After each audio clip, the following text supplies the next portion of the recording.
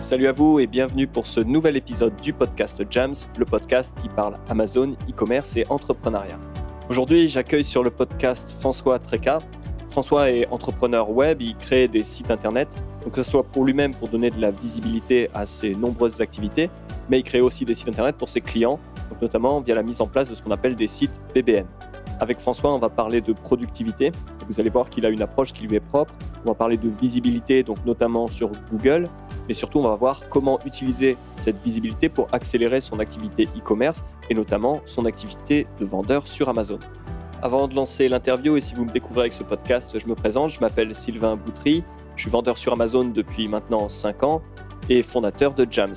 Chez Jams, on vous accompagne sur Amazon, on vous aide à passer des paliers en termes de vente. vous trouverez plus d'informations par rapport à ce qu'on peut faire pour vous sur jams.fr et ça s'appelle jamz.fr. Avec François, on mentionne pas mal de ressources, de références, donc je vous invite à regarder en description du podcast pour avoir les liens pour retrouver tout ce dont on a parlé dans l'épisode. Allez, voilà pour l'intro. Maintenant, on passe à l'épisode. Je vous souhaite une excellente écoute de ma conversation avec François Treca. J'ai quatre grands points pour faire du business. Donc le premier, c'est euh, je vends des leads qui sont issus de mes monnaies sites. Donc euh, par exemple, j'ai des sites qui sont dédiés à l'entretien de jardin, la tonte de pelouse ou alors le ravalement de façade. Et euh, donc les gens arrivent sur ces sites via Internet, des gens qui veulent faire ravaler leur façade par exemple, et ils vont saisir leurs coordonnées dans un formulaire. Ces données sont envoyées à des prestataires qui proposent du ravalement de façade dans leur région et je suis payé pour ces informations. Donc ça c'est un premier mise en relation. C'est ça. Ça c'est un premier quart. Mmh. Bon alors il y a aussi un petit peu de, publicité sur certains sites. J'ai des sites éducatifs qui sur lesquels il n'y a pas vraiment de modèle économique autre que la publicité. Donc sur cela j'ai mis de la publicité. Donc ça rapporte aussi un petit peu par ce biais. une de notre activités que j'ai, c'est de la location de liens en page d'accueil.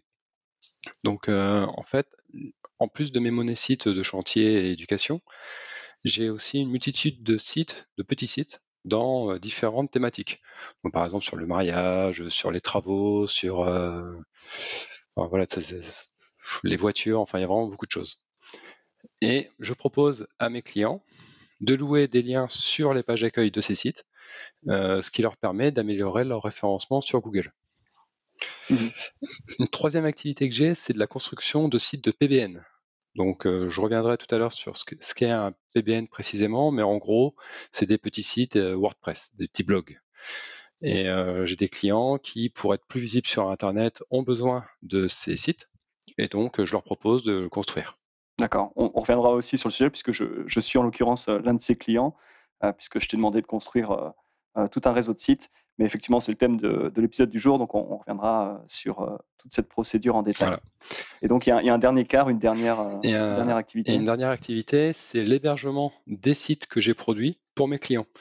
parce qu'il y a des petites subtilités au niveau de l'hébergement quand c'est de l'hébergement pour le référencement. Et du coup, bah, moi, je maîtrise bien toutes ces subtilités et donc je propose à mes clients d'héberger leur site et ça me permet de faire du récurrent annuel vu que bah voilà, l'hébergement, par définition, c'est récurrent. Ouais, une fois qu'on a mis son site en ligne, on a besoin de le, laisser en ligne et donc forcément, il y a la question d'hébergement qui se pose. Et c'est vrai que je t'ai découvert parce que je faisais des recherches sur Internet sur le PBN, donc la visibilité, ça, ça marche. ce qui, il y a un article qui m'a marqué, c'est un article où tu parlais de la méthode bulldoze et, et finalement, d'une manière plus générale, c'est ton, euh, ce qui m'a plu, c'est ton approche assez, euh, peut-être même obsessionnelle euh, de la, de la productivité sur le web, à l'échelle du web. Et donc, c'est vraiment quelque chose que tu travailles. Est-ce que tu pourrais en dire un petit peu plus, enfin, donner des exemples? Et bien sûr, je mettrai le lien vers cet article parce que ça m'a vraiment donné beaucoup d'idées. Est-ce que tu pourrais nous en dire un petit peu plus cet aspect en fait productivité dans, dans toutes tes activités? Oui, alors pour moi, tu as raison de le dire, hein, c'est une obsession, la productivité. Euh, donc toujours de augmenter la productivité. Donc, euh, alors j'en profite pour faire un petit point sur ce terme. Augmenter la productivité, en fait, ça veut dire faire la même chose que ce qu'on fait euh, tous les jours, mais avec moins. Alors ça peut être moins de temps, moins d'énergie, moins de travail, moins de ressources, moins de produits, enfin voilà. Donc obtenir mmh la même chose, mais avec moins. Et ça, c'est donc un point que je travaille tous les jours. par exemple, pour la construction de, de, mes sites pour les clients, eh ben, la prestation, elle commence à 9 euros pour 4 articles de 100 mots. Donc évidemment, pour atteindre ce genre de tarif-là, il faut avoir une productivité vraiment très très très élevée et des processus assez fins. et bah, du coup, tous les jours, j'essaie d'améliorer ce processus pour le rendre plus productif. Alors il y a plusieurs façons. Hein. Par exemple, il y a l'amélioration globale du processus, c'est-à-dire qu'on va réordonner les tâches entre elles pour les regrouper. Et du coup, mmh. le fait de regrouper les tâches, ça permet d'être beaucoup plus efficace pour les réaliser. Donc, bon, ça, c'est des chantiers qui sont un petit peu plus complexes, je veux dire. Donc, mais en gros, tu avais fait un schéma. Donc, bon, les gens iront voir sur l'article, mais il y avait cette idée, d'une manière générale, au lieu de faire toutes les actions d'un projet, action A, action B, action C, jusqu'à Z, disons s'il y a 26 étapes, et puis passer au, deuxième projet, et puis faire donc A2, B2, etc. Il y avait cette idée de faire tout de manière horizontale, donc faire A1, A2, A3, A4 en une fois, et puis après ensuite passer à l'étape B si on a quatre projets en, parallèle. J'espère que c'est clair. et ça, c'est quelque chose que j'ai commencé à mettre en place sur Amazon, et c'est là où je voulais en venir pour les, vendeurs Amazon qui nous écoutent. typiquement, quand on, a, on est en train de lancer des produits, en fait, on, peut lancer un produit de A à Z et puis passer au produit suivant euh, et puis le lancer de A à Z, etc. Mais euh, si on est capable bah, d'avoir un, agenda qui, colle à peu près et puis lancer, on va dire, quatre produits en parallèle, ben on, fait quatre fois, euh, donc on fait 1 A2, A3, A4, on, fait quatre fois par exemple la, création de la fiche produit sur Amazon. quand on envoie en traduction, on envoie en traduction les quatre listings en, même temps, etc. Pareil avec le graphiste avec qui on va travailler pour faire des images. et donc on, est capable comme ça de, de, faire plus parce que c'est beaucoup plus efficace une fois qu'on est en train de faire un type d'action, donc action B1, B2, B3, B4. c'est beaucoup plus facile de rester dans ce. Enfin, de terminer l'action B plutôt que de passer de A à B, de B à C. etc. J'espère que j'ai été assez clair. Alors, tu vois, si tu veux rajouter quelque chose. Alors, je connais pas spécialement l'interface d'Amazon, mais là, quand tu me parles d'ajout de produits, bah, tout de suite, moi, je pense a priori, j'imagine que quand tu ajoutes un produit, tu cliques sur un bouton Ajouter un produit et puis tu saisis tes informations. Et puis après, tu as différentes étapes. Je pense que c'est comme ça. Oui, bien sûr, il y a une interface comme ça. Tu as aussi une approche avec des fichiers CSV en bulk, mais on, va dire que la, plupart des, des, vendeurs Amazon qui, lancent qui font du private label vont, créer via une interface en cliquant, euh, suivant, etc., en remplissant des champs, euh, des formulaires, et ouais, comme ça. Bah, tu vois, il y a un truc tout simple à faire. Souvent, ça, ça fonctionne très bien pour gagner du temps.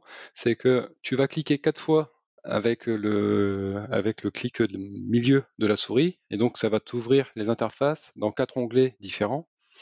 Et en fait, tu vas faire, euh, tu vas faire, du coup, tu, perds trois temps de chargement en moins de, pages. Bah, l'air de rien, c'est une petite seconde peut-être sur les trois, sur les, sur les quatre fiches. Et après, tu mmh vas saisir ta première fiche, cliquer sur suivant, tu vas passer au deuxième onglet, tu vas saisir ta fiche, cliquer suivant, et tu fais comme ça les quatre onglets de façon parallèle. Et en fait, tu gagnes les temps de chargement entre chaque étape. Et ben, ça a l'air peut-être ridicule comme ça, mais en fait, euh, si tu as, 50 produits à faire, et eh ben, tu vas avoir gagné deux heures. Juste les temps de chargement euh, de l'interface. Oui, complètement. Et c'est. Alors, c'est difficile à croire euh, souvent quand je, dis ça comme ça, les gens ils font ouais, bof, machin. Mais tu cumules comme ça. Alors, moi j'appelle ça la guerre des clics. tu cumules comme ça des clics, des temps de latence en moins et compagnie, puis en fait tu te retrouves à faire tes fiches que tu faisais peut-être en deux jours, et ben tu vas les faire en trois heures. Et en fait, tu as fait strictement le même travail, sauf que bah, tu n'as pas perdu du temps à, attendre que les interfaces se mettent à jour et puis à faire des clics et compagnie. Ah quelque part, c'est en effet bête, c'est cette idée, il vaut mieux réfléchir avant d'agir et, s'organiser avant de, passer à l'action. C'est bête quand on le dit comme ça, mais dans, les faits, et on en parlait un petit peu avant le podcast, on a tendance à rentrer, à prendre la première étape du premier projet, puis aller à la deuxième étape du premier projet, ou et puis de ne pas réfléchir en fait à, comment on s'organise. Donc, euh, ouais, je, veux juste faire un petit point avant qu'on parle de PBN sur cette euh, méthode bulldoze et cet article, parce qu'il y, a vraiment beaucoup d'idées et donc des concepts euh, qui sont applicables dans, énormément de domaines, dont la, vente sur Amazon. Je voulais effectivement parler rapidement de, cet article et de la méthode bulldoze, parce que ça m'a vraiment donné pas mal d'idées sur Amazon. Mais juste avant de parler de, PBN, tu as quand même des projets annexes, d'autres choses en dehors des, quatre activités dont tu nous as parlé. Est-ce que tu, peux nous en dire plus? Oui, parce qu'en fait, les quatre activités dont j'ai parlé, ça, c'est un petit peu mon, récurrent, ma façon de générer de l'argent régulièrement. Mais à côté de ça, j'aime bien avoir d'autres projets, un petit peu en exploration, j'appelle ça. Et par exemple, je fais des chantiers SO. Donc les chantiers SO, c'est des gros projets clients. Par exemple, un client qui va me commander Là, j'ai eu un client qui m'a commandé 200 articles sponsorisés sur un thème bien précis et de les publier sur 200 sites différents. Bon, bah là, c'est pareil, c'est une, organisation différente, c'est un nouveau challenge, ça me permet de voir un petit peu d'autres choses. je propose aussi un petit peu de consulting, coaching et formation en SEO. Ça, c'est important pour moi parce que du coup, ça me permet de, de voir d'autres soucis, de voir d'autres façons de faire et de guider les gens vers, vers ce qui leur manque et ben, ça apprend beaucoup sur sa propre façon de faire. J'ai aussi un site qui s'appelle Bulldoze et qui met en relation des rédacteurs avec leurs clients. Donc, bon, ça c'est encore une autre histoire, mais mais bon, voilà.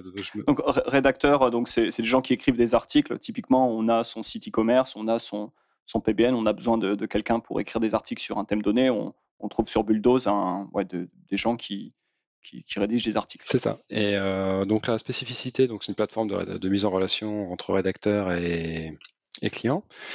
Euh, et la spécificité, en fait, c'est que bah, je prends pas de commission sur euh, cette plateforme. c'est en fait l'idée, c'est qu'il y a, c'est surtout des rédacteurs qui sont au Bénin, à Madagascar, et bah, j'ai pas envie de prendre des commissions sur des professionnels euh, qui sont issus de pays euh, qui sont pas forcément riches et euh, je vois pas l'intérêt de moi m'enrichir sur sur des entrepreneurs qui pour qui c'est pas forcément déjà facile de, gagner sa vie. Donc bon bah. je comprends. En opposition à des plateformes comme Upwork, 5 euros, Fiverr, enfin ouais. Bah c'est pas spécialement en opposition contre ça, c'est juste ma façon de voir les choses et puis de, faire quoi. Mmh Alors aussi, je passe pas mal de temps à communiquer, donc là, par exemple, avec toi, Donc, euh, je fais pas mal de rédaction d'articles sur mon blog et sur mes différents sites pour euh, faire connaître mon activité. Et puis, bon, bah voilà, de temps en temps, je fais une petite interview comme on est en train de faire là. C'est sympa. Donc, ouais, beaucoup de choses. Et comme tu disais, tu es, très occupé au final avec toutes ces activités, toutes ces casquettes, d'où peut-être le besoin euh, euh, obsessionnel de productivité et d'amélioration pour être capable de, tenir les bah, cadences C'est qu'en fait, c'est pas vraiment dans ce sens-là que ça se passe. C'est comme je suis très organisé, que j'ai une grosse productivité et que je vais très vite, et eh ben, je peux faire plus de choses. C'est. Ah, ça, ça, oui, aller plus vite euh, sur, sur beaucoup de choses, ouais, ça, ça, ça a du sens euh, dans, dans ce sens-là. c'est clair. Ok, on, va donc maintenant parler de, de sites satellites de, de, PBM, vraiment rentrer dans le, dans le, vif du sujet, puisque d'une manière générale, les, vendeurs Amazon ont intérêt à se focaliser sur Amazon, à chercher à renforcer Amazon, parce que bon, il y a, beaucoup de trafic sur Amazon. On, cherche donc à amplifier Amazon, même si bon, on peut avoir une stratégie de, site e-commerce euh, à côté, mais d'une manière générale, pour les, vendeurs qui débutent, euh, Amazon, ça a déjà suffisamment de choses à faire dessus. donc la question, c'est euh, comment est-ce qu'on peut amplifier Amazon et notamment envoyer du, trafic externe, du trafic externe qualifié, des visiteurs qui, qui sont intéressés sur le sujet, sur notre produit? Et donc, euh, c'est là qu'intervient euh, une, des manières, on va dire, de, faire ça, c'est d'avoir des, sites satellites. Et donc, ce que tu nous, proposes aujourd'hui, c'est finalement une méthode assez légère, simple à, mettre en place pour générer ce trafic ciblé depuis Google, donc à destination a priori d'Amazon. Donc, il y a différentes étapes. Est-ce que tu pourrais nous parler bah, de cette méthode peut-être dans un premier temps de manière très générale, et puis après on va rentrer euh, dans le détail euh, des, différentes étapes? Alors, euh, en fait, dans cette méthode-là, c'est une méthode que moi j'utilise spécifiquement pour drainer des, visiteurs sur mes sites. alors, vous pourrez voir, hein, il y, a un exemple qui s'appelle créepbn.com et en fait, ça reprend toutes les grandes idées que là je vais développer. Et donc, si vous voulez voir un exemple d'un site qui fonctionne, et eh ben, vous pouvez aller voir celui-ci. Donc, comment ça fonctionne? En fait, l'idée, c'est que il y a des gens sur Google qui vont chercher vos produits. Euh, je vais partir sur les ventilateurs. Ça te va? Parfait. ça fera un exemple. Donc, donc on imagine que y a, vous avez, vous vendez des, ventilateurs, des ventilateurs et euh, bah, vous voulez être visible non seulement sur Amazon, mais aussi sur Google. Donc pour être visible sur Google, il vous faut des sites. Donc ça c'est un peu la base. Et euh, des sites qui soient optimisés pour les produits que vous vendez. Alors, une façon très simple d'optimiser sa visibilité sur Google, déjà, c'est de prendre un nom de domaine exact, c'est-à-dire qui correspond exactement euh, au produit que vous vendez. Donc, par exemple, bah, vous allez prendre euh, ventilateur.fr, à mon avis, ça va déjà être pris. Donc, il va peut-être falloir se tourner vers d'autres mots. Mais, par exemple, ça peut être mon ventilateur.fr, euh, mon-ventilateur.com ou euh, très ventilateur, sans fil, peut-être peut-être une euh, parce que bon d'une manière générale on, on cherche à faire des produits qui sont un peu nichés et donc ouais peut-être prendre une caractéristique du, du, produit ouais ventilateur sur batterie ou ventilateur silencieux.fr enfin ok donc un un nom de domaine euh, qui, contient le mot-clé sur lequel on, cherche à se placer. Voilà. Alors, tu as raison de préciser là sur euh, la généralité du mot-clé, parce qu'en fait, euh, les pages qui vont être sur un mot-clé plus général, comme ventilateur, vont pas ressembler du tout aux pages qui sont plus dédiées à une catégorie précise, comme, je ne sais pas moi, bah voilà, ventilateur sans fil rouge. là, il va falloir créer deux typologies de pages un peu différentes. C'est-à-dire, sur, tu parles de ce que Google va mettre en avant sur des mots-clés, euh, euh, on va dire, euh, très génériques, courts, versus sur des mots-clés longue traîne? Non, je parle de ce qu'il va falloir présenter à vos visiteurs. par exemple, sur ventilateur, bah, justement, on va plutôt chercher à décomposer le terme ventilateur en sous-catégories, donc ventilateur sur pied, ventilateur sans fil, ventilateur de poche, ventilateur sans pale, et donc essayer d'orienter les gens vers la bonne catégorie plutôt que tout de suite commencer à leur présenter des produits qui de toute façon correspondront certainement pas à ce qu'ils cherchent, vu que à ce moment-là, quand ils ont juste tapé ventilateur, on ne sait pas ce qu'ils cherchent précisément. Absolument. Parce que euh, c'est ça qui est original avec ce genre de produit, c'est que ventilateur, c'est à la fois tu dis ventilateur à quelqu'un, il se fait une idée précise de ce que c'est, mais en fait personne n'a la même idée de ce que c'est. Donc à ce moment-là, ce genre de page-là, il va falloir les guider vers d'autres pages qui vont pouvoir leur permettre de préciser leurs besoins. Hmm. Tandis que bah, ventilateur sans fil, par exemple, bon, bah, voilà, on a déjà une meilleure idée de ce qu'il cherche. Et on va pouvoir commencer à ce moment-là à lui proposer une liste de produits. Ce qui n'était pas possible dans la page ventilateur. Donc ça, il faut faire vraiment super attention. C'est euh, de quoi a besoin l'utilisateur et euh, de quelle information on, a quand il arrive sur la page. Enfin, qu'est-ce qu'on sait sur lui quand, il arrive sur la page. Et peut-être que bah, il va falloir qu'il reprécise son besoin par un clic supplémentaire vers une autre page. Ouais. Et ça, je pense que l'idée derrière, c'est que Google est de plus en plus malin, on va dire, c'est pas vraiment le mot, mais disons que le but c'est de Google, c'est de présenter des résultats qui soient pertinents. Et pour être pertinent, il faut que le site, enfin que le webmaster derrière le site se mette dans les, dans les pompes de son visiteur et soit capable de, enfin qu'on optimise aussi pour l'humain. C'est plus une question seulement de de, mettre des mots-clés sur des pages pour que l'ordinateur Google euh, euh, comprenne et mette en avant. Il y a vraiment euh, Google regarde ce que font les, visiteurs et, optimise aussi ses résultats quand il voit qu'un site répond aux besoins des, utilisateurs. Enfin, tu, me corriges, tu corriges si je me trompe, mais disons que on parle beaucoup là de d'optimisation pour l'humain et pas seulement pour le robot, quoi. oui, et justement, ça, moi, je pense que les, référenceurs, de façon générale, ils sont pas assez euh, à cheval sur ce point-là. Et euh, ils sont beaucoup sur euh, les techniques, les mots-clés, les, liens, tout ça. Mais il y, en a très peu qui se mettent à la place de l'utilisateur. Qu'est-ce que veut mon utilisateur? De quoi il a besoin? Et lui proposer, enfin essayer de, faire en sorte de lui proposer exactement ce qu'il faut. en général, les référenceurs, ils ont plutôt une optique, voilà, j'ai un produit et j'essaie de l'imposer à mon utilisateur. Et tant pis si c'est pas vraiment ça dont il a besoin. Moi, je pense qu'il a besoin de ça. Mmh. Et ça, c'est pas du tout la bonne démarche. La bonne démarche, c'est de se dire, bon, quel est le besoin des gens qui, arrivent via ce mot-clé et qu'est-ce que je peux leur proposer en face? Alors des fois, quand on fait cette rétrospective-là, euh, bah, en fait, c'est la catastrophe parce que quand on le fait vraiment, bah, on se rend compte que le produit qu'on a qu'on a imaginé être le bon pour cette typologie de besoin, eh ben en fait, ça ne correspond pas. Ce mmh C'est pas ça qu'il leur faut aux gens.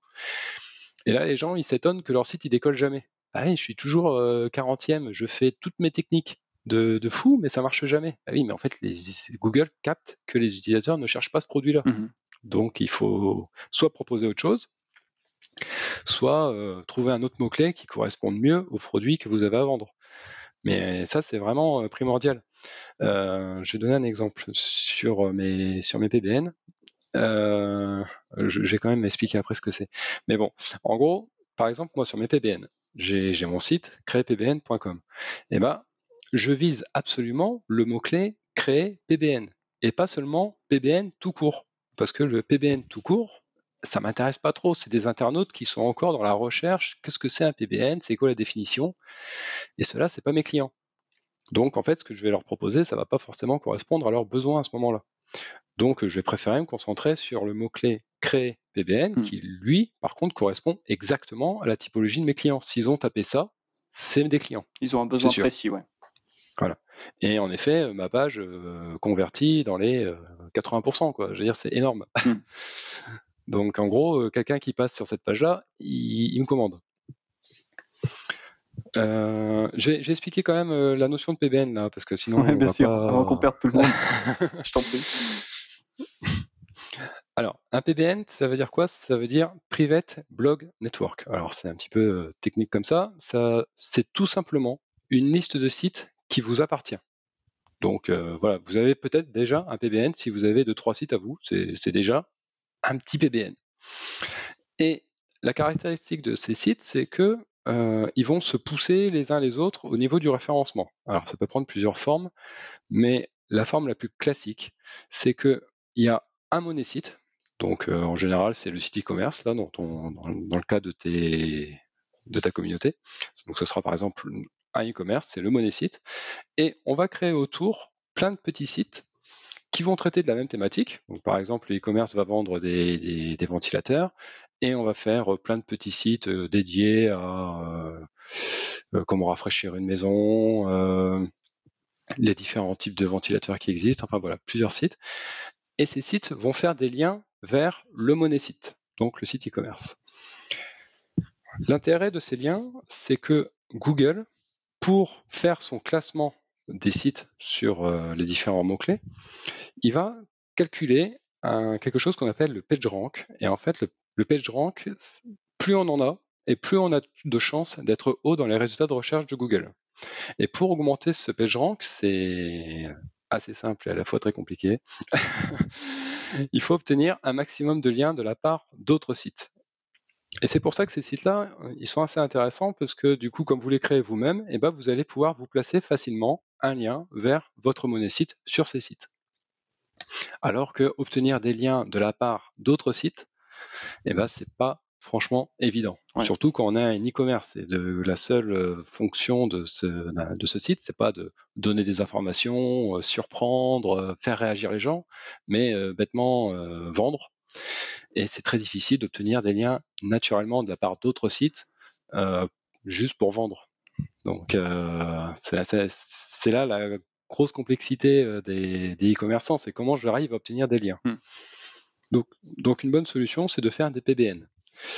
Alors, il y a plusieurs types de sites de PBN. Donc là, j'ai parlé du PBN classique, c'est-à-dire du PBN qui va augmenter le PageRank via les liens. Mais il y a aussi une autre forme, un peu plus subtile, moi je préfère cette méthode-là, qui consiste à créer des sites qui vont attirer des visiteurs, et ces visiteurs, on va essayer de les ramener vers le monnaie site. Ou, vers une fiche euh, produit Amazon, dans, le cas, euh, si, si, on souhaite euh, envoyer du trafic sur Amazon, ça peut être pour voilà, une sorte de, page qui est finalement une page informative, mais qui, vers la fin, ou, pas, mais devient une, page de vente, on pourrait dire, ou de pré-vente, pour dire, et au fait, si vous cherchez un ventilateur sans fil, il y a celui-ci sur Amazon ou sur ce site ventilateur supercool.com. Et donc, ouais, renvoyer vers le money site ou la, la, fiche produit Amazon. Voilà. Donc par exemple, ça pourrait être on, vous, sur, un, sur un de ces sites, bah, vous rédigez un article sur bah, quand ça va être l'été, là, comment se rafraîchir lors d'une canicule. Donc les gens, ils vont taper ça sur Google. Et vous allez leur proposer différentes solutions. Donc, par exemple, bah, vous pouvez utiliser un ventilateur. D'ailleurs, vous en trouverez un très bon modèle ici. Puis là, les gens ils cliquent et puis ils arrivent sur votre fiche Amazon. Bah, voilà, c'est des visiteurs. Ils sont bien qualifiés parce que là, ils ont chaud, c'est la canicule. Ils ont besoin d'un ventilateur. Ils arrivent sur votre article, ils cliquent sur le lien vers votre monnaie site et voilà, vous pouvez peut-être faire une vente. Après, c'est à vous de bien faire votre fiche pour euh, puis mettre le bon tarif, tout ça. Mais bon, ça, c'est votre boulot. Et, au passage, euh, si c'est un lien via le, programme partenaire Amazon, récupérez 8% euh, sur les 15% de, de, commission que prend Amazon sur, sur la vente donc de, récupérer un petit peu d'argent. C'est, n'est pas le but premier, mais, ah ça, permet d'économiser un peu sur les frais Amazon. Vu que tu leur envoies un client, tu, voilà, tu, récupères un peu. Ah d'accord. Ah oui, oui, ah, oui bah, tu as raison. Puisqu'en plus, tu vas toucher des commissions sur tous les achats? Bah avec, avec le, programme Amazon Partenaire, ouais, tu, mmh peux... Donc tu, bon, c'est ouais, de l'ordre de 8%. Bon, aux États-Unis, c'est moins, mais, mais en Europe, c'est encore cet ordre-là. Et bon, c'est en tous les cas, il y, a, cette commission de 15% sur le prix de vente TTC que, prend Amazon sur, à nous, vendeurs Amazon. Et donc, euh, ouais, dans ces 15%, en fait, il y, a, une part qui est prévue pour euh, l'affiliation.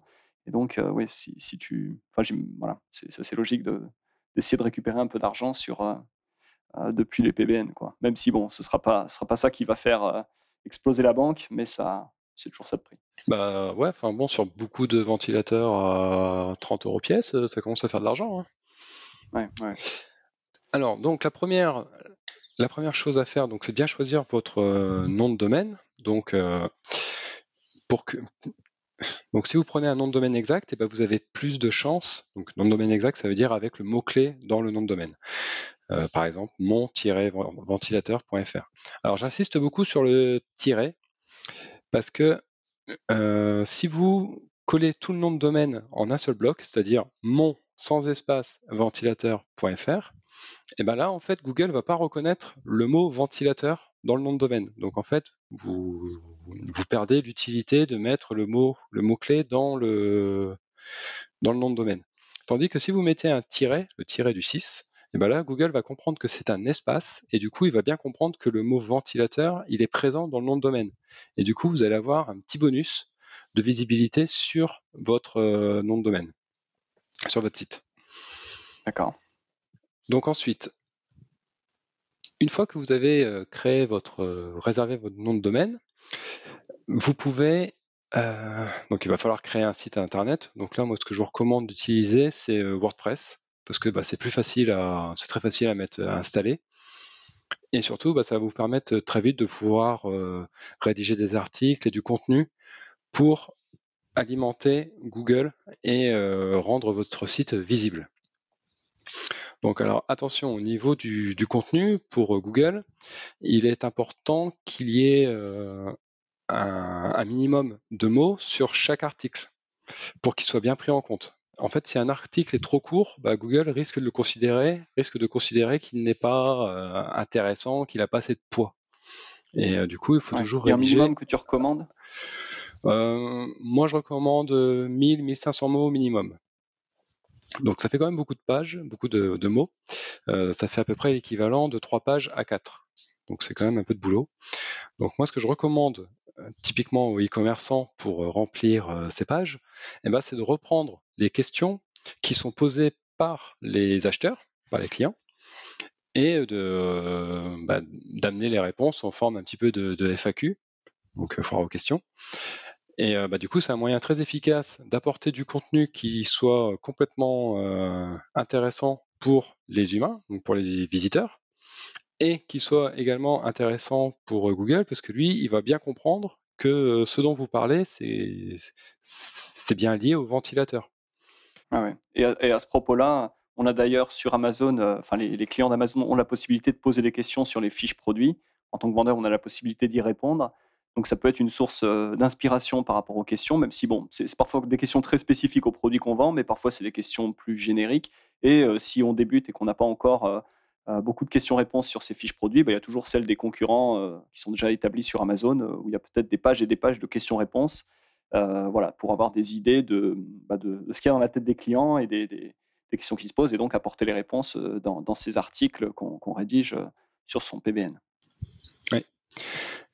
Et alors du coup, ces questions-réponses aussi, ça permet de bien rester dans le sujet.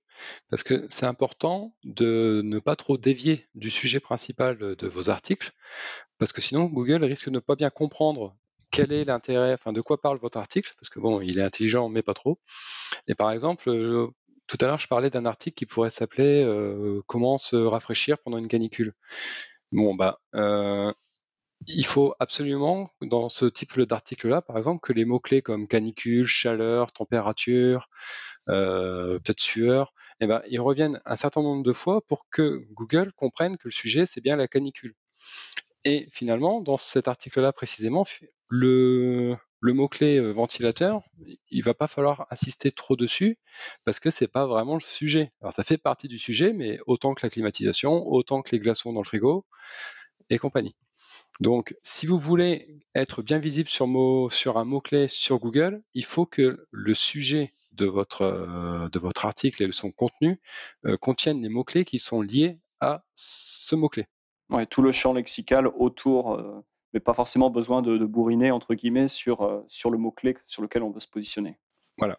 Donc, euh, dans vos textes, il va donc falloir faire attention euh, à être compréhensible par Google. Alors pour ça, il y a des outils pour le savoir si on est compréhensible, parce qu'en fait, c'est pas du tout euh, évident quand on le fait manuellement. donc il y a des outils comme 1.fr, Your Text Guru et d'autres qui vont permettre de vérifier que Google peut comprendre le sujet de votre article. Donc c'est important de vérifier avec ces outils-là. Alors, oubliez surtout pas que vos articles vont être lus par des humains qui sont aussi vos clients. Donc, il faut absolument les respecter et euh, leur donner du contenu intéressant à lire qui répondent bien à leurs questions. C'est pour ça que le format FAQ est particulièrement efficace parce que ça va permettre de vraiment euh, être dans le, cœur des préoccupations des clients. Euh, alors moi, je recommande toujours aussi aux, aux webmasters de façon générale, enfin aux éditeurs de sites, parce qu'on dit plus trop webmaster, c'est fini ça. Euh, aux éditeurs de sites, c'est de pas hésiter à prendre au téléphone leurs clients pour apprendre à les connaître, pour apprendre à connaître leurs besoins. C'est bizarrement, alors chez, chez les commerçants, euh, je ne sais pas si c'est quelque chose qui se fait euh, souvent de téléphoner à ses clients, mais je sais que dans le référencement, ça ne se fait jamais. Et en fait, c'est une erreur grossière. On a besoin de connaître les gens avec qui on travaille. On a besoin de connaître ses clients. Euh, ne, serait-ce que pour être certain que le produit qu'on leur propose euh, correspond bien à leurs besoins.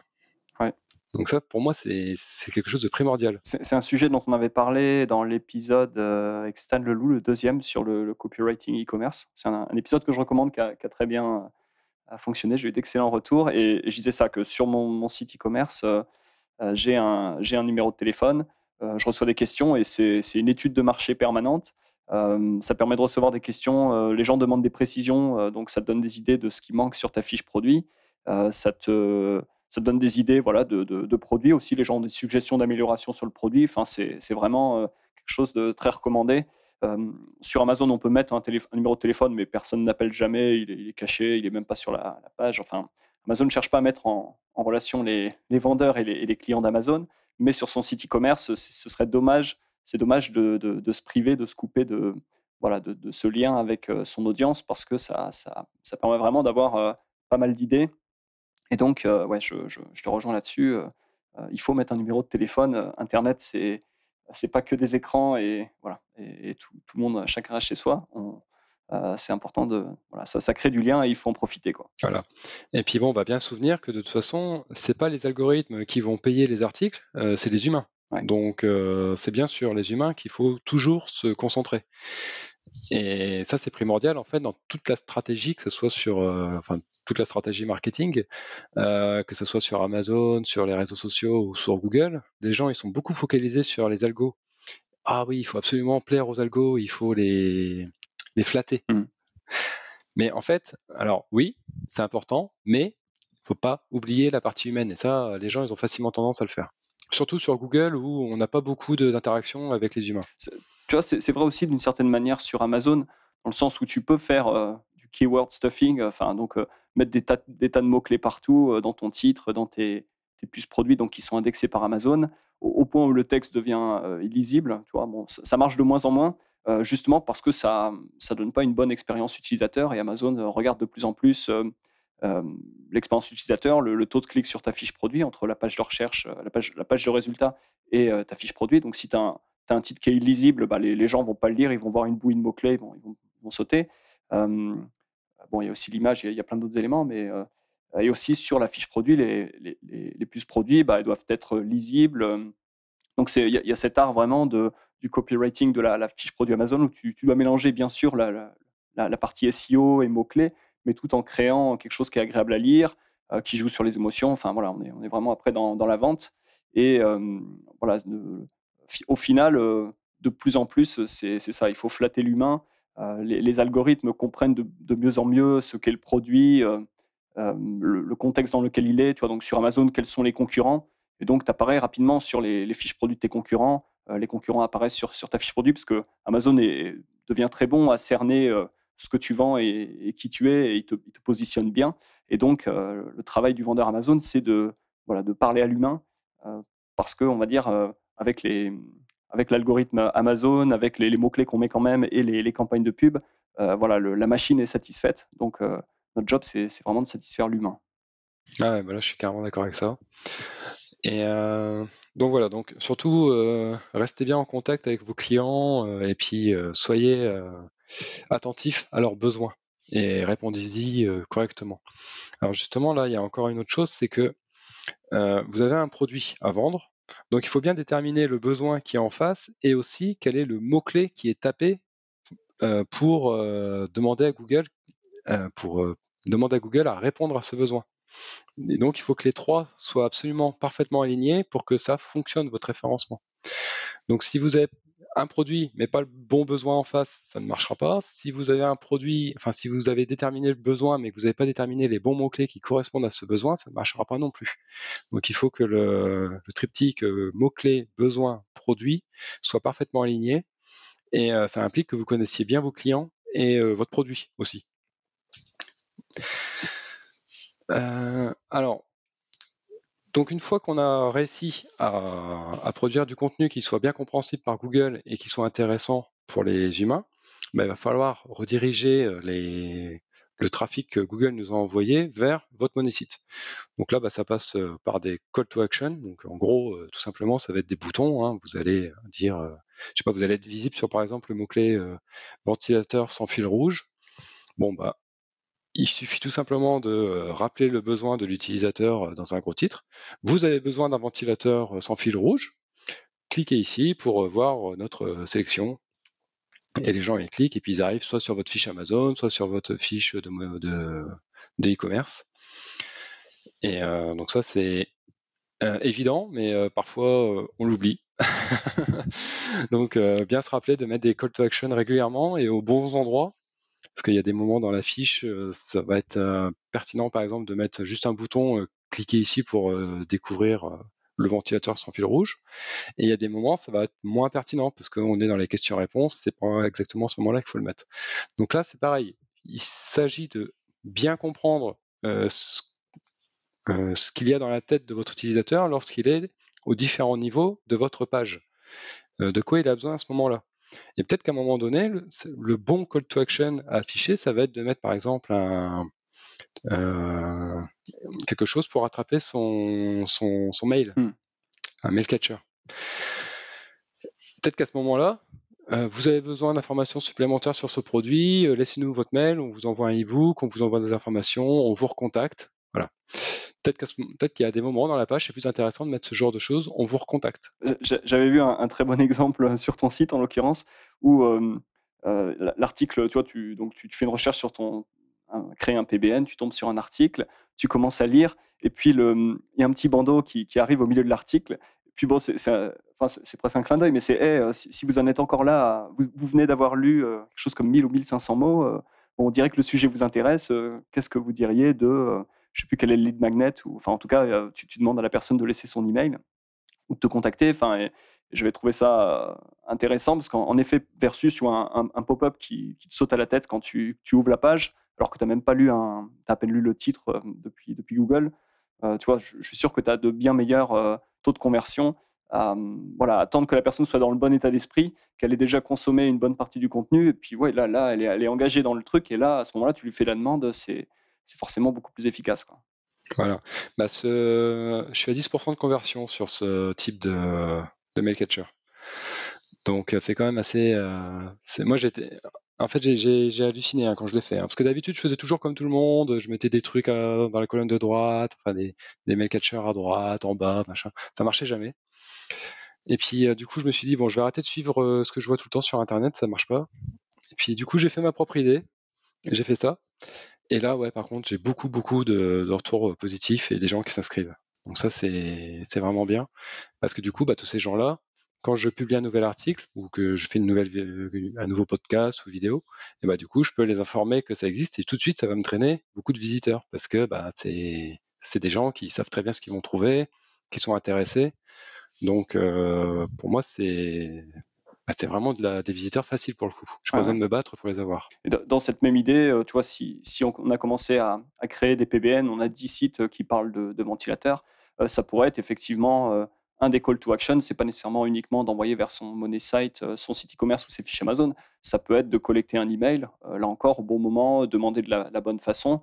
Euh, vous êtes intéressé par les ventilateurs, euh, euh, voilà, recevez, recevez nos offres, c'est peut-être mal, formulé, mais il y a peut-être une manière de demander à la personne de laisser un, contact. Et quand on lance derrière un, autre produit, un autre ventilateur dans sa gamme, ou c'est l'hiver et on lance autre chose, on a une liste de, clients qu'on peut recontacter, faire des ventes tôt, enfin et, amorcer la machine de, vente sur Amazon. bon, c'est pas le, le, thème du, podcast, mais euh, voilà, les, PBN peuvent aussi servir à faire de l'opt-in en vue de se construire euh, une base de, clients. Et, donc, euh, oui, d'ailleurs, et donc, oui, se, resservir de, ça à l'avenir. dans la même idée, ça peut être un. On parle d'opt-in. Je, fais juste un petit rappel de l'épisode qui est sorti juste avant celui-ci qui parle de, de bot Messenger. Et donc, ça peut être un bouton rejoignez notre chatbot pour euh, être au courant des offres ou avoir euh, des, promotions. Enfin bon, là encore, il faut formuler et avoir comme ça, c'est pas forcément une liste email, ça peut être une, une liste sur un chatbot et derrière, voilà, drainer comme ça des, du trafic qualifié, des gens qui sont intéressés par le sujet pour pouvoir, entre guillemets, les, réutiliser ou, les recontacter dans tous les cas à une date ultérieure. Alors, donc une fois que bah, vous avez votre, donc vous avez votre, vous avez votre nom de domaine, vous avez créé votre site, vous avez trouvé des mots clés, vous avez produit des articles euh, qui correspondent à ces mots-clés, qui sont bien compris par Google et par les humains. Vous avez posé vos call to action. Donc là, en fait, votre site, il est terminé. Vous êtes prêt à recevoir du trafic et à le convertir, que ce soit en, achat, en mail, en chatbot. Voilà. Et à travailler, donc, c'est en tout cas à travailler sur ces visiteurs. Mais ça ne va pas suffire pour être visible sur Google. Parce que euh, j'en ai parlé au début là, du PageRank. En fait, pour monter dans Google, il va falloir que vous ayez un petit peu de PageRank et ça signifie recevoir des liens de la part d'autres sites. Donc, si vous êtes parti d'un nom de domaine qui n'existait pas auparavant, donc un nom de domaine neuf, eh ben, forcément vous avez zéro lien et du coup, bah, il va falloir les construire. Euh, alors là, il y a plusieurs solutions. Soit vous décidez de faire d'autres sites de PBN qui, eux, vont faire des liens vers votre site. Ça, c'est une possibilité. Et du coup, vous allez recevoir ces liens et ça va vous donner du jus et ça va vous faire monter dans Google. Après, il y a d'autres solutions qui existent. Par exemple, vous pouvez décider d'acheter euh, des articles sponsorisés. Euh, qui en fait c'est des articles euh, par exemple vous allez parler des, ventilateurs parce que c'est bientôt l'été et il va falloir voir les différents modèles qui existent et cet article vous allez le placer sur un autre site qui ne fait que ça de la vente d'articles et dans ce site, il y aura un lien qui pointera vers votre site. Ce qui vous fera monter votre page rank et donc ça vous donnera plus de visibilité sur Google. Après, il, y a, il existe aussi des annuaires sur lesquels il est possible de s'inscrire gratuitement ou pas. enfin voilà, il y a vraiment plein plein de façons d'obtenir des liens. Alors ça peut être aussi sur des forums, sur des commentaires de blog. Enfin voilà, il y a. En tout cas, il va falloir obtenir des liens pour que Google prenne en compte votre site et commence à le faire monter. Alors là, je vous invite à aller voir sur Internet parce qu'il y a des tonnes de, de, ressources, de techniques, etc. Euh, je pense là, pour, ah éviter que les gens commencent à se dire, ah bah ça y est, euh, euh, c'est des mois et des mois de travail, je pense que ce qu'on doit rappeler, c'est puisqu'on est sur un, nom de domaine assez précis, un mot-clé qui, est, qui est relativement précis, on a un article qui va être bien rédigé, qui répond à des questions précises, on va dire qu'il n'y a pas besoin d'énormément de liens pour apparaître sur des, requêtes de longue traîne. Enfin, en tout cas, c'est l'objectif, c'est de ne pas forcément avoir besoin de faire beaucoup de, liens vers ces PBN parce que, on va dire, le, contenu parle de lui-même, j'ai presque envie de dire ou en tout cas, voilà, il n'y aura, pas besoin de forcer énormément Google pour qu'il lise l'article, qu'il le comprenne et qu'il le mette dans sa base de données et qu'il commence à le servir sur des, requêtes précises. Alors, il faut savoir que normalement et théoriquement, si, votre, si votre page est vraiment bien faite, qu'elle répond bien aux besoins d'un client sur un mot-clé précis et que vous avez le bon produit et que vous êtes pro dans votre façon de travailler, Google va finir par le comprendre. Donc il a des tas d'algos pour euh, le savoir. Et au bout d'un moment, sans rien faire, eh ben, les sites qui sont bien, qui, respectent bien le triptyque euh, mots-clés, besoins et euh, solutions, eh ben, ils finissent par monter. moi, je l'ai vu sur plein de sites parce qu'en fait, moi, quand je travaille, en fait, je, je crée un site, je le pose, je, le, je, bosse dessus comme il faut jusqu'à ce qu'il soit bien, et après, j'y touche plus. Je fais quelques liens quand même, histoire de lui donner un peu de jus. Et euh, en fait, donc souvent il prend une position assez rapidement en fonction du nombre de liens qu'il a, reçus. Et, euh, et après, au fil du temps, soit il va commencer à monter gentiment, soit il va commencer à baisser gentiment. Et en fait, là, souvent, j'ai ma réponse. Je sais euh, si j'ai bien répondu aux besoins des, utilisateurs de Google. C'est quand on monte gentiment une place par semaine, et ben, ça veut dire qu'on est bon et que ça va finir par, on va finir dans la première page, voire dans les top 5. Et dans le cas contraire, bah, c'est pareil, on le sait assez rapidement. Mais alors par contre, ce processus-là est très très long et ça nécessite beaucoup de patience. Tandis qu'obtenir des liens, eh ben, ça va donner des effets qui sont plus immédiats. En, deux jours, on va voir le résultat d'une campagne de, liens. Donc, ça permet de donner des coups de boost, mais ça ne fera jamais le long terme. En fait, les, liens, ça donne juste un petit coup de, boost pour gagner en visibilité. Mais en fait, à terme, si le site est pas bon, il finira par tomber, et s'il est bon, il finira par monter. C'est ça, c'est une constante. Alors, euh, par contre, voilà, ça, c'est, euh, ça va être sur un an, deux ans, donc il faut pas être pressé, quoi. Mmh. Donc les liens, ça permet d'aller plus vite. je comprends. On, voit ça parfois. Alors, euh, c'est pas le but de, parler trop d'outils SEO, etc. Mais on voit des, anomalies sur des, des, requêtes données. On, peut mesurer le, page rank de, des, résultats de, Google et on se rend compte que le site qui est en position 4, 5, 6, il a un page rank qui est beaucoup beaucoup plus faible que tous les autres. mais c'est parce que bah, doit il doit parfaitement répondre, selon Google, à la, à la demande. Et donc, euh, il est mis en avant, bien qu'il soit plus faible, on va dire, au niveau de son profil de lien. Mais là encore, c'est l'humain qui, qui décide. Et si l'humain, euh, enfin, Google tient compte de, ce, que, de ce que dit l'humain euh, au travers de toutes les données qui, qui pompent sur voilà, ce que font tous les, les, millions ou les milliards d'utilisateurs. Et donc, si, voilà, si les humains plébiscitent le site sur la requête, Google va le mettre de manière ou d'une autre en, en avant je n'ai pas envie de dire indépendamment du lien, parce que je, des liens, parce que je suis, c'est pas non plus le cas, mais, mais je pense que d'une certaine manière, c'est voilà, l'humain qui l'humain prime de plus en plus euh, sur, euh, sur Google. Quoi. Tu sais que dans, dans l'éducatif, on on a des requêtes particulières et des fois on a des anomalies comme ça et en fait c'est l'enfer à déloger. Euh, par exemple, moi j'ai des je propose des fiches d'éducation pour par exemple je sais pas moi le, verbe pour les CM2. Bon, c'est un exercice sur le verbe pour les CM2. Et donc, bah, je fais une page et puis je prépare une fiche d'exercice qui est euh, disponible en cliquant sur un lien de la page. Bon, donc j'essaie de faire bien mon travail comme il faut. Et en fait, des fois, les pages qui sont devant moi dans le classement de Google, c'est des PDF. Et c'est l'horreur en fait. Mmh. Parce qu'en fait, c'est donc c'est juste un fichier PDF. Donc en fait, il n'y a, rien en termes de SEO. Il n'y a rien parce qu'il y a juste un lien qui fait un lien vers cette. Enfin, il y a juste un lien vers cette fiche, ce fichier PDF qui est même pas un site. Mais par contre, la fiche, elle est parfaite. dire elle est vraiment super. C'est une prof qui l'a faite et puis bah voilà, elle est bien organisée, elle est bien visible, la difficulté elle correspond bien au niveau des élèves. Euh, et en fait, c'est une anomalie SEO, dans le sens où théoriquement ça devrait pas être référencé ça.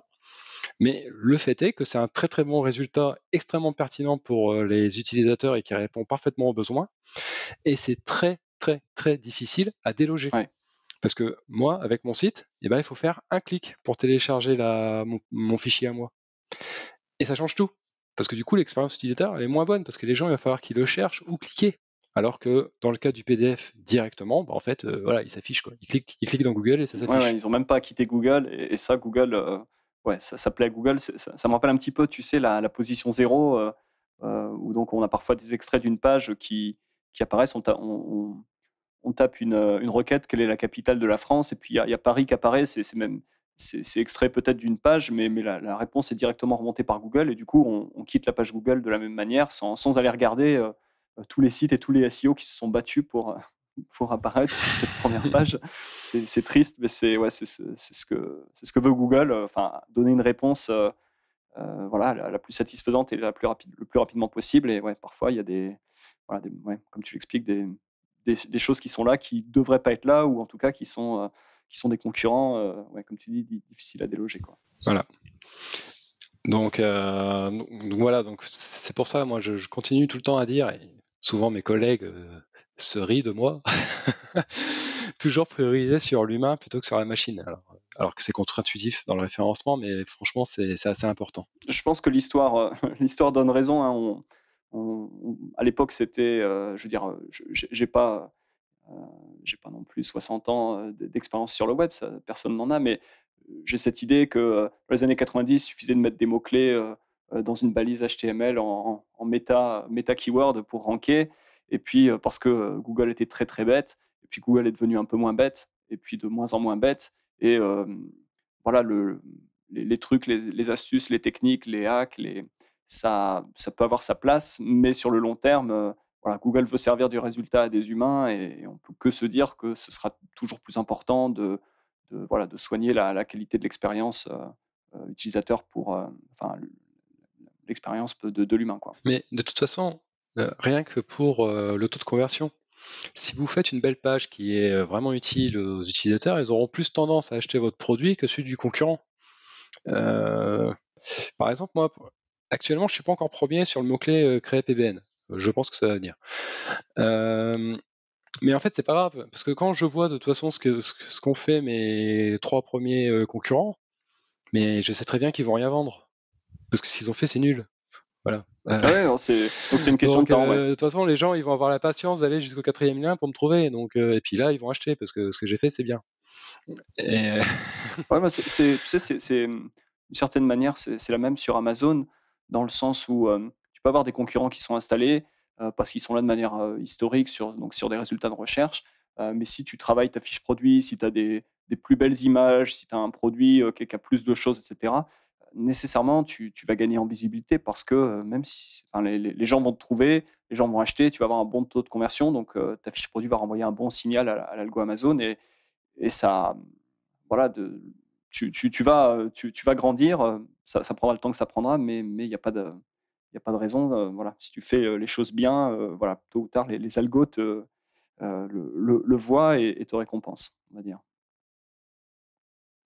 Alors, on pourrait peut-être euh, juste repasser rapidement dans les, au travers des six étapes pour euh, récapituler avant de parler euh, bah, de, ton service de création de, PBN. donc, alors, si vous voulez vendre un produit sur, Google, donc une solution simple, c'est de créer un site qui va parler de ce produit. Donc ce site, essayez de lui donner un nom de domaine exact, c'est-à-dire que le mot-clé principal que vous visez, donc en général c'est le nom du produit hein, tout simplement, mmh doit être présent dans le nom de domaine. Séparé, si vous mettez plusieurs mots, séparez-les avec des tirets du 6 pour que Google comprenne bien qu'il y a différents mots.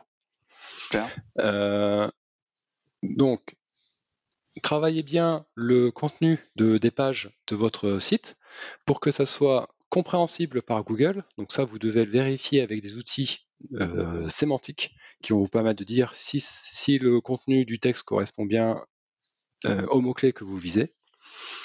Et surtout, pensez toujours aux besoins des humains, c'est-à-dire de quoi ils ont besoin et euh, répondez à leurs questions. Donc évidemment, il va, pas falloir, il va falloir penser à bien mettre des call to action très pertinents c'est-à-dire en général, c'est des boutons pour euh, dire cliquez ici pour acheter le produit. N'oubliez pas de rappeler le besoin de votre, de votre euh, internaute juste au-dessus du call to action. Vous avez besoin d'un ventilateur sans fil rouge, cliquez ici. Et là, le gros bouton en dessous, clic, il est parti. Euh, donc les call to action, on l'a dit, hein, ça peut être aussi des mails, ça peut être des, chatbots, enfin voilà, ça peut prendre plein de formes du moment que vous arrivez à convertir les visiteurs en quelque chose d'intéressant pour vous. Hmm.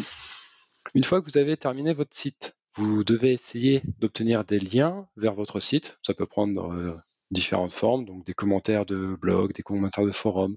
Ça peut être des articles sponsorisés qu'on aura achetés, hmm. d'autres sites de PBN qu'on aura créés pour drainer du jus. Et enfin, il va falloir aussi suivre l'évolution de votre site, comment il va vivre euh, sa vie.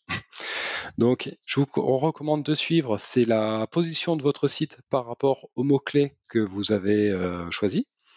Donc, pour ça, il y a des outils qui existent. Il y en a plein, euh, des payants, des gratuits, en fonction des options que vous recherchez. Tu pourrais en citer un gratuit? Je mettrai le lien en description pour s'il y en a un qui te vient à l'esprit euh, bah, j'en connais pas de gratuit en fait. D'accord. J'en ai un payant. un payant alors. Ouais, payant.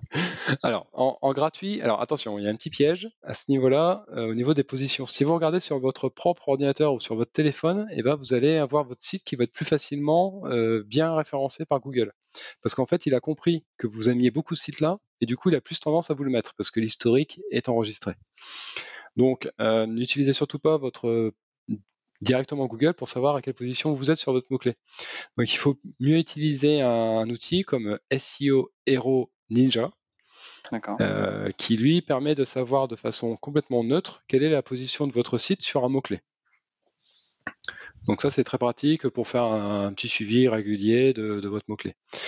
Mais bon, euh, le mieux c'est quand même d'avoir un outil qui vous fournit les courbes de positionnement pour pouvoir voir s'il y a eu des, des baisses, des hausses au fil du temps. Ouais, si on est en train de flotter ou, de couler, quoi. Voilà. D'accord. Euh, pareil, au niveau du suivi de l'évolution, bah, il va falloir euh, suivre aussi le trafic. Est-ce qu'il y a des gens qui arrivent sur votre site et surveiller le taux de conversion? Il faut absolument convertir. Pas seulement parce que ça rapporte de l'argent, mais aussi parce que ça veut dire que vous répondez bien aux besoins de vos utilisateurs. Si vous ne convertissez pas, ça veut dire qu'il y a un souci. Vous n'êtes pas en phase avec votre public. Donc il faut résoudre ça, il faut chercher à comprendre qu'est-ce qui se passe, pourquoi euh, ça marche pas, et euh, trouver une solution pour que ça fonctionne.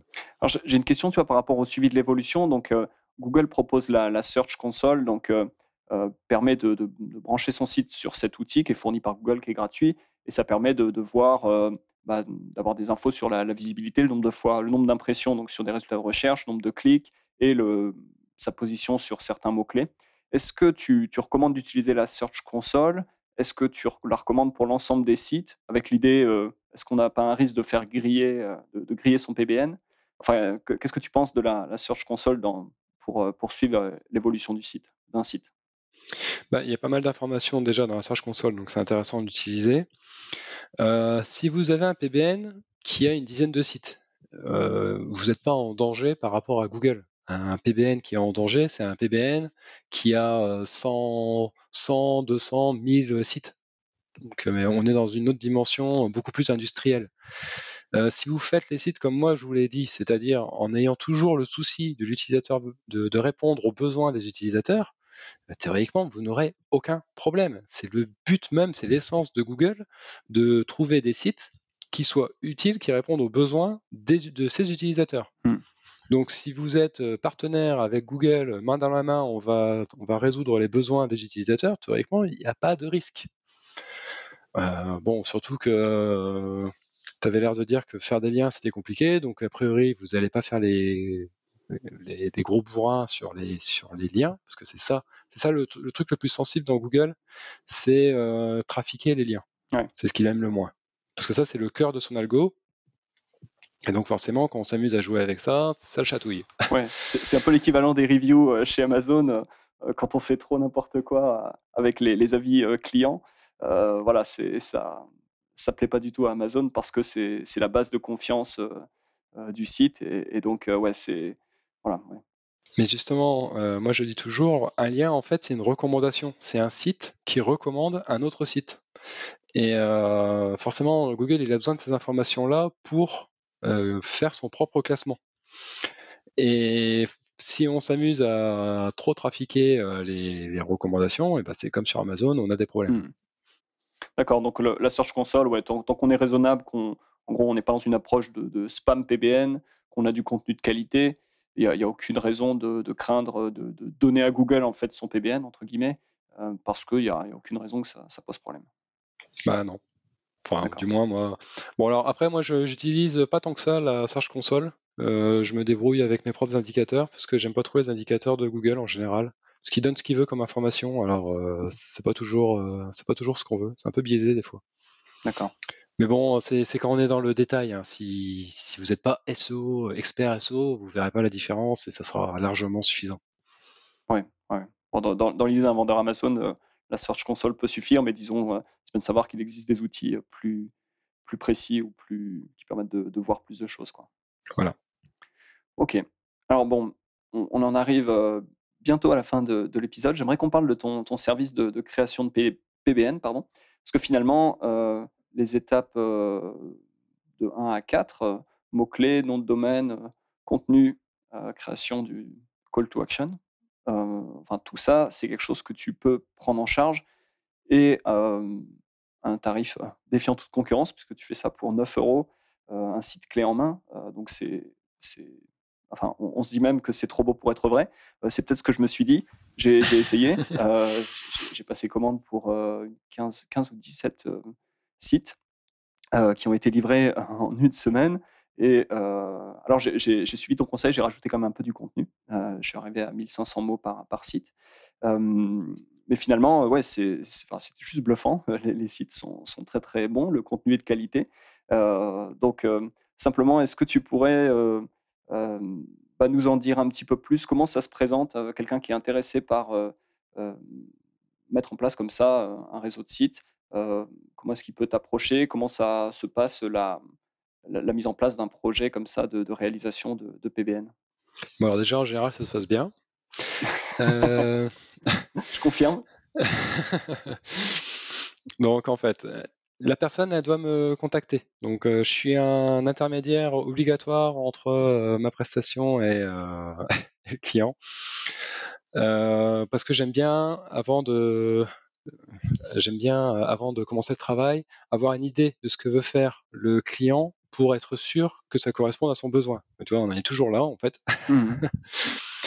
euh, j'aime pas vendre des produits qui serviraient à rien à mes clients. Donc en général, je prends, euh, enfin soit la, personne est déjà expérimentée en PBN, bon bah il n'y a pas besoin de beaucoup de données de détails, donc euh, ça va. Ou alors, si elle a des doutes, et eh ben du coup je la prends un quart d'heure, 20 minutes au téléphone et je lui explique quelques bases de stratégie de PBN pour qu'elle puisse bien démarrer. Moi, ça m'intéresse pas d'avoir des gens qui me commandent des sites et puis qui arrêtent deux mois après, parce qu'en fait, finalement, ça leur sert à rien du tout. C'est inutile. Donc voilà. Donc pour commencer, bah, il faut me contacter. Et une fois que le contact sera fait, eh ben, je vous donnerai un lien vers votre interface de commande. Donc vous aurez juste à cliquer dessus. Ça fera apparaître votre interface. Donc ça sera marqué Bonjour Sylvain. Et euh, là, vous pourrez passer votre commande. Donc, vous pourrez choisir différentes formules de, blog.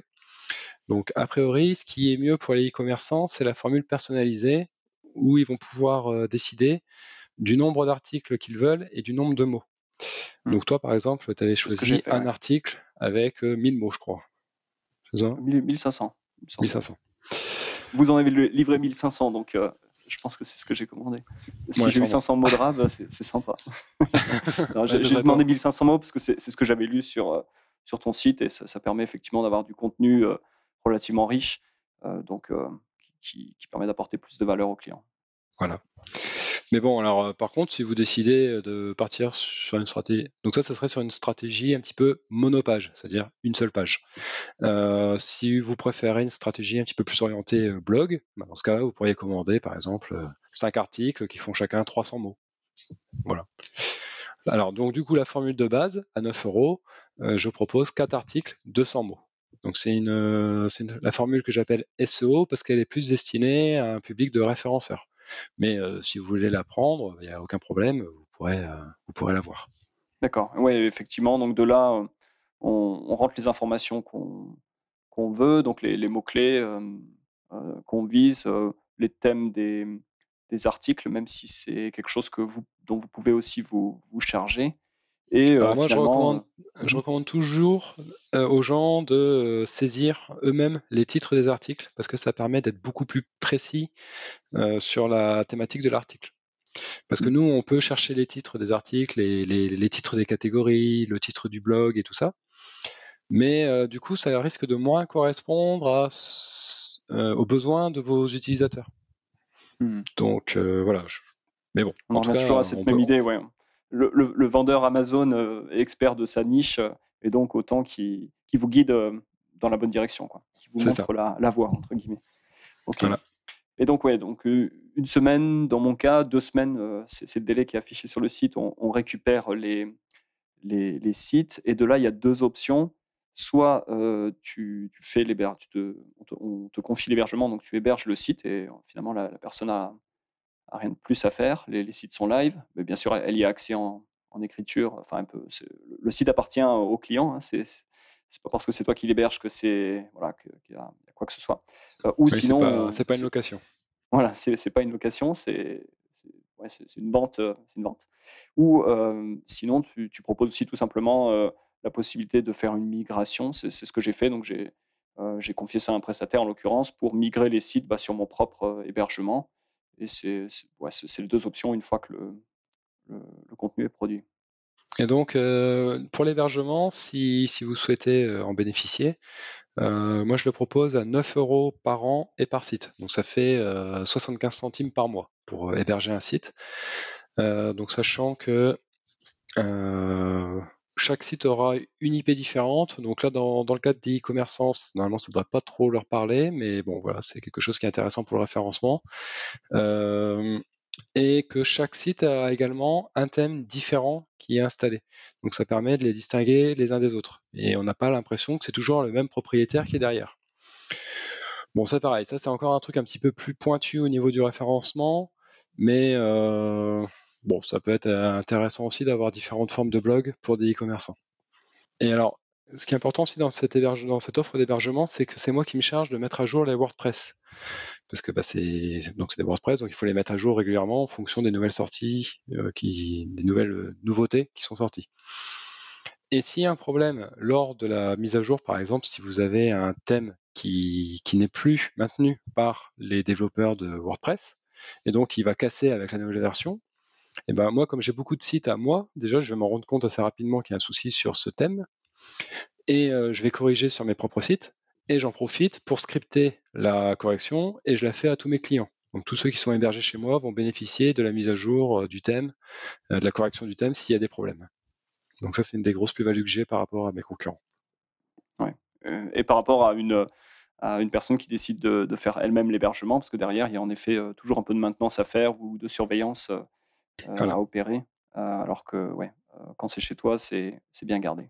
Parce que l'intérêt d'un PBN, c'est quand même de poser le site et puis de l'oublier. C'est clairement c'est ça. Hein. ouais, ouais, non, enfin c'est mon optique. en tant que vendeur Amazon, c'est quelque chose de, de, plus que je fais. Euh, j'ai pas encore décidé vers où pointeront les liens, quels seront les call to action là, puisque voilà, la, migration et la mise en ligne des sites, ça remonte à pas plus loin que cet après-midi. Donc on est, c'est, encore très très frais. Euh, donc il y aura certainement des, liens qui iront vers mon site e-commerce, d'autres vers des pages Amazon, euh, peut-être certains vers des opt-in, mais effectivement, le, euh, une fois que c'est en place, une fois que tout ça sera, sera vraiment terminé, l'idée c'est de continuer à, faire du e-commerce et puis de, savoir que bah, ça, a été fait. Il y, a ce réseau de, sites, il y a ces liens, ça, et puis voilà, comme, comme ça, prend, ça prend quand même du temps à, à ranker, à, avoir, vraiment des résultats, bon, c'est une chose qu'on fait et puis on passe à autre chose. Donc, euh. Voilà. Et puis on a régulièrement, puis le but c'est d'avoir régulièrement du trafic qui arrive sur les monnaies sites, sur les pages Amazon et euh, bah, faire des ventes euh, avec ça en arrière-plan qui tourne tout seul et puis qui draine du trafic. Ouais, super. Écoute François, on arrive à, vraiment à la fin de cette interview pour le coup. où est-ce qu'on peut te retrouver? Comment est-ce qu'on te contacte? Alors, euh, si vous voulez me retrouver, vous pouvez le faire sur mon blog perso, donc françoistreca.com.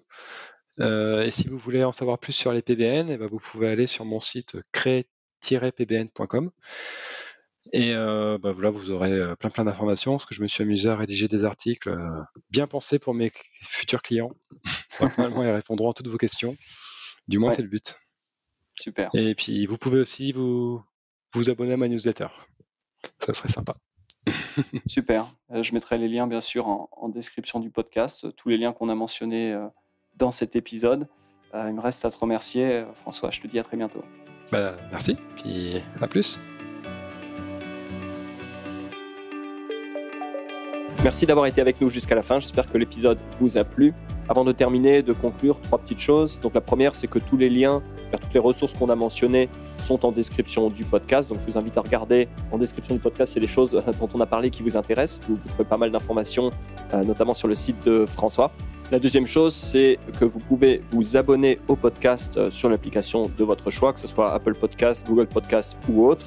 Et en vous abonnant, bah, vous serez notifié des futurs épisodes, vous en manquerez plus aucun et vous aurez accès bah, à tout le catalogue des épisodes déjà publiés. Il y a pas mal de sujets qui ont été traités déjà sur le podcast et donc je vous invite à vous abonner pour avoir accès à tout ça. Dernière chose, eh bien, je vous propose qu'on reste en contact et la meilleure chose pour être en contact, c'est que vous rejoigniez la newsletter Jams. Donc ça se passe sur notre site jams.fr, ça s'appelle jamz.fr ou en description du podcast, vous avez un lien pour rejoindre directement la newsletter. Vous serez tenu au courant des actualités du podcast, mais aussi de toutes les infos, les choses que je partage en lien avec la vente sur Amazon quand je découvre des choses intéressantes et que j'ai envie de vous les partager. Allez, c'est tout pour aujourd'hui. Je vous souhaite une bonne fin de journée et je vous dis à très bientôt pour un futur épisode. Bye bye.